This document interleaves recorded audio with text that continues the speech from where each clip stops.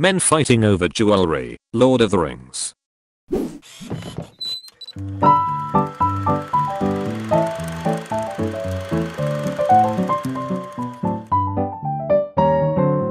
Eighteen and under deathmatch.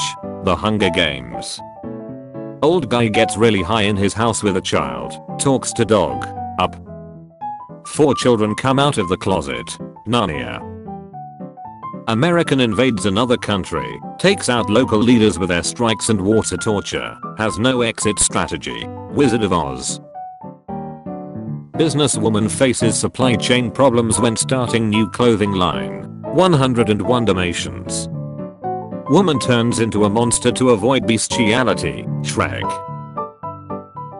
College professor travels to the mountains, where he rekindles a relationship with a colleague's previously underage daughter.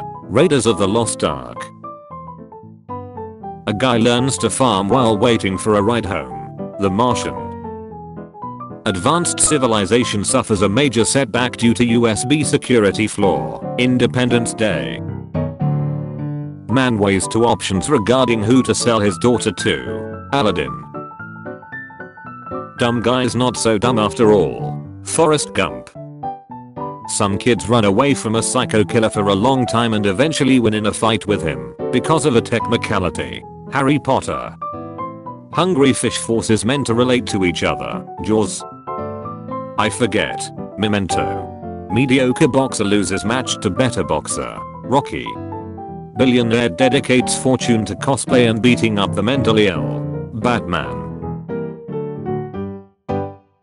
Do you want another episode of this? If so, head over to the movies section on calbel.com and reply with submissions to my funny movie summaries post. I'll be using the best submissions next episode.